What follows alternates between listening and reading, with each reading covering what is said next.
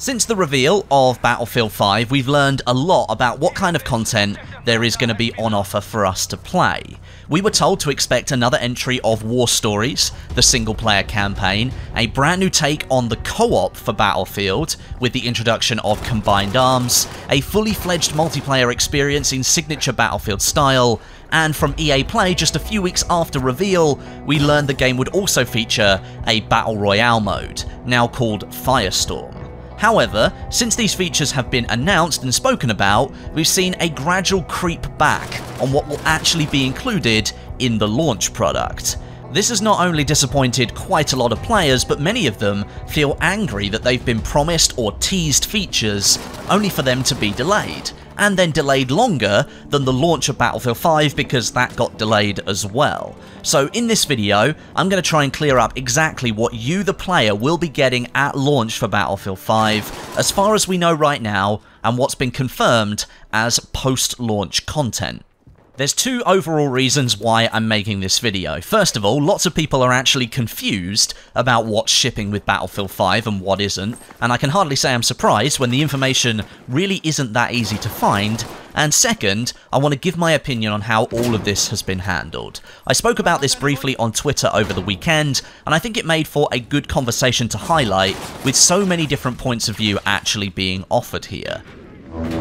Okay then, let's start off with what is 100% confirmed coming at launch for Battlefield 5. Firstly, War Stories. This is the single player element of the game and features different settings for people to try and play through and experience. Split up into different chapters almost, we have the prologue, Nordlys, Tirailleur, and Under No Flag, coming at launch. The prologue will introduce you to the setting of Battlefield 5. Nordlys tells the story of resistance fighters in German occupied Norway and the fight to not only save their country, but their families as well. Tirailleur focuses heavily on infantry combat in France, where Senegalese units of the French colonial forces are told to fight and liberate the homeland, but a homeland that they've never seen before, and Under No Flag tasks a young British criminal with the task of blowing up German air bases in the North African desert.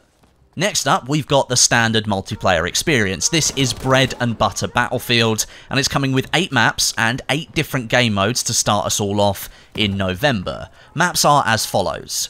Twisted Steel and Arras are set in the French countryside, Rotterdam and Devastation, highlighting the urban combat of early World War II, Hamada and Aerodrome, set in the North African desert, and lastly Narvik and Fjell 652 in Norway, bringing in the Northern European theatre. All of these maps set Battlefield 5 starting off in The Fall of Europe, the first segment of the Tides of War live service. Now after launch, different chapters will focus the game on different locations, introduce new ones, and along with that comes more content like weapons, vehicles, gadgets, cosmetics, and even more. When it comes to game modes, we have Conquest, Conquest Assault, Domination, Frontlines, and Team Deathmatch as standard, and then included within the Grand Operations experience, we have Airborne, Breakthrough, and Final Stand. These will all feature at launch. An earlier mistake had Grand Operations down as a post-launch offering, but that is not the case. That will be included for the launch of Battlefield 5. Next we have The Company. Here you'll be able to customize your soldiers and weapons with cosmetic items, like skins and camos, clothing and more along the way, and the upgrade system for weapons, which allows you to, when ranking up your weapons, change its base stats for different perks. The same system exists for vehicles in the game as well. Each of your class soldiers from both Axis and Allied forces can be individually customized with different weapons, gadgets and cosmetics to make them look like your own soldiers, and more options will be coming after launch as well. And joined to the company, we have the Armory, which will be the place you can either spend your grind currency, earned through only playing the game, or real money on cosmetic items if you so wish. That's your list for what is coming with the launch of Battlefield 5. This closely matches what Battlefield 1 and Battlefield 4 offered at launch, however more features and segments have been mentioned for Battlefield 5 since reveal that have now been pushed back or simply clarified to be post-launch features. Let's go through that list right now. Starting things off then, we have Combined Arms. This is the co-op segment of Battlefield 5. This was mentioned during the reveal of the game back in May, and very little was ever mentioned beyond that point, which looking back now was quite a telling sign. This recently was confirmed to be coming to Battlefield 5 after launch as part of the live service. The way this was done though was extremely sly in my opinion. The mention was just dropped onto the Battlefield 5 website about halfway down the page. In fact, if you now visit the Battlefield 5 website, which has since changed, you will be hard pressed to find even a mention of Combined Arms there at all. It's like it's been almost completely wiped from the game's list of features, despite being mentioned quite prominently during the game's reveal livestream. In the This is Battlefield 5 article, however, you can find a paragraph dedicated to the segment where it now states the following. Experience combined arms during Tides of War, with continually expanding missions, challenges, and gear. Next up on the list we have Battle Royale, or Firestorm as it's now named.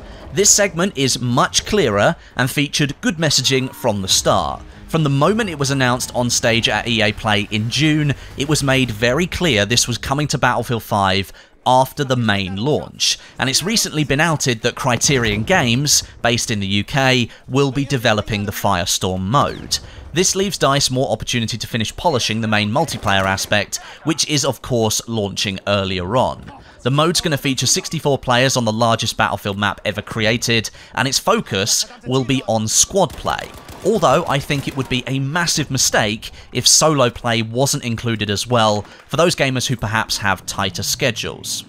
Third on the list for post-launch content is vehicle cosmetic customization in multiplayer. Interestingly, this was also a feature that was absent from Battlefield 1's launch, and DICE appears to be repeating that here in Battlefield 5, which is slightly worrying. The feature was confirmed as a post-launch one during a breakdown of the Gamescom trailer posted on the Battlefield website. Coming after launch for vehicles is visual customization too, it read. It is important to note at this point that the skill trees that you can traverse in the upgrades menu for vehicles will be available at launch, but the ability to add paint, skins, and other cosmetics to your favourite tanks and planes, that's what's coming post-launch. So it is just the visual portion, but it's still a massive disappointment considering the reveal trailer for Battlefield 5 showed some quite detailed visual customization that we can expect. Now it's not coming at launch, so things are a little bit strange here.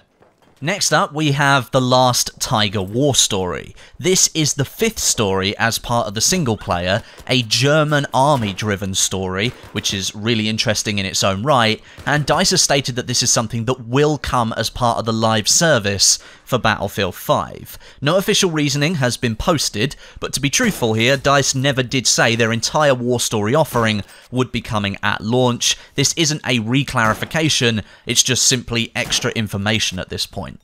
A rather small but I think vital addition to Battlefield 5's multiplayer that has recently been outed as a post-launch item is soldier dragging.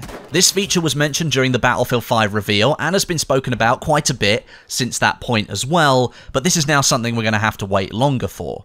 As I understand it, the feature is simply not ready to be released and it requires more work to finish. So perhaps when the reveal was happening, it was a feature the development team thought they'd have finished by that point, and along the line it was just discovered that more work was needed, maybe they hit a technical barrier. But with it being so heavily mentioned, it's been hard to swallow for the community that this quite vital feature is not coming at launch. The fifth item on the list is rental servers. The ability for any player to rent their own server, customize game settings and create their own flavour of Battlefield 5. This was briefly mentioned during the post-show livestream after the Battlefield 5 Beta Squads event that happened over the weekend, and it confirmed it was not present at launch. I've got a clip here for you. Now, the big thing though that the community members want to know about is I know what you're going to say. rented servers. Yeah. Uh, will there be uh, rent, rentable servers So- in BF5? So speaking of the from the community, that's something that we very much need and something that we very much want, and I know something that you're looking at more.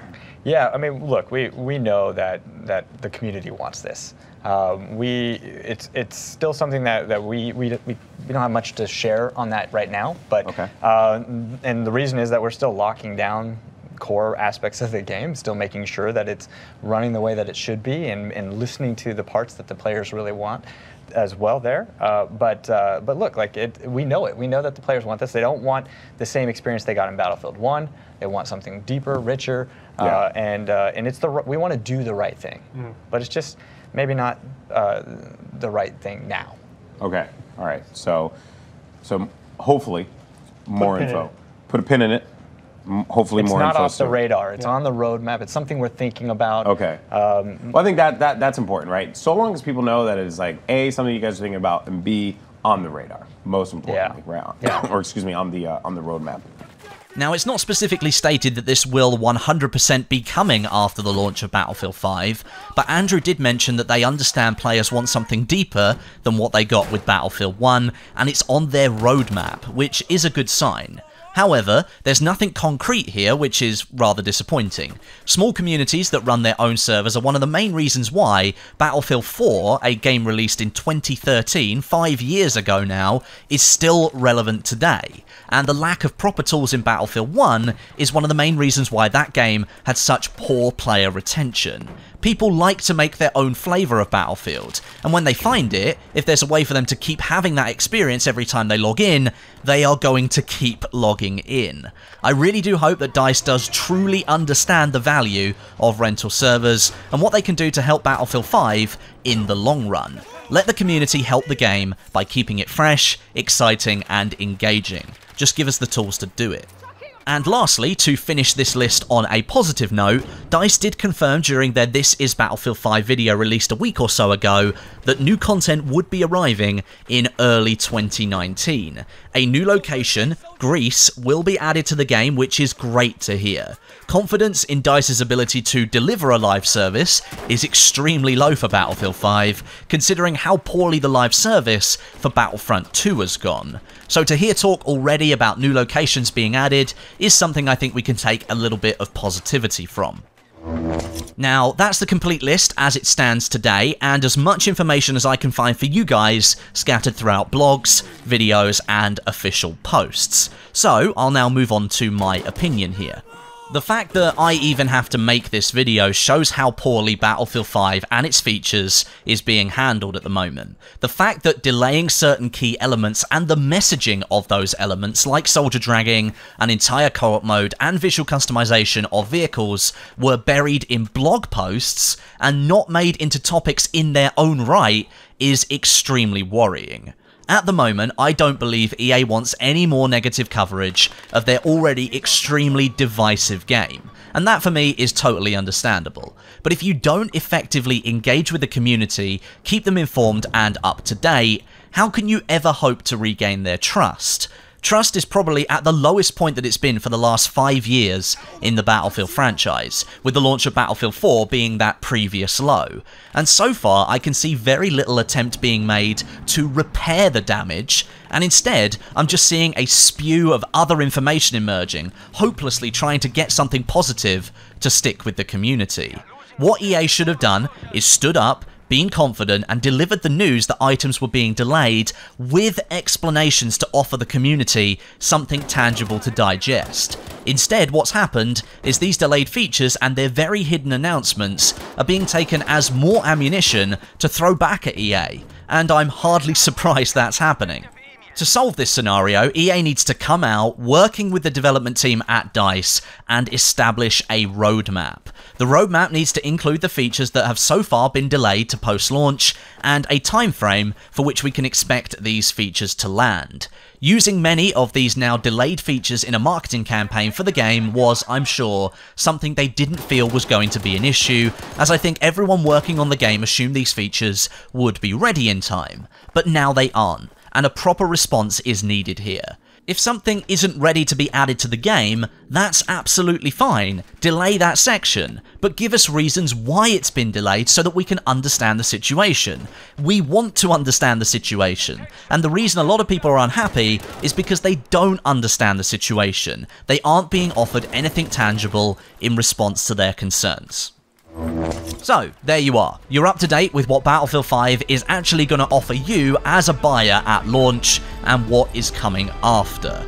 Now, as always, you're more than welcome to leave your own thoughts and opinions down in the comment section. I encourage you to do so on this topic, and let's see if we can make our voices heard here. Just remember, keep it civil. Thank you very much for watching today. Make sure you subscribe to the channel with notifications switched on, that way you won't miss any of my future Battlefield 5 videos. But until next time, my name is Westie, and I'll catch you guys in the next video.